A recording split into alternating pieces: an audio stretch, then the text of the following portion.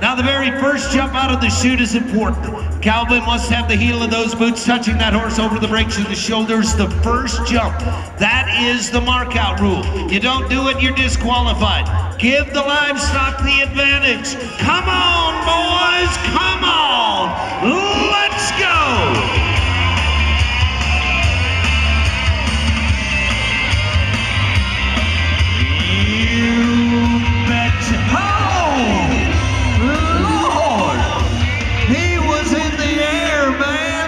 He was in the air. 1 to 25 for the cowboy, 1 to 25 for the horse for each of our two officials. 50 points to spread around as they see fit. We begin nicely. How about a 75 score?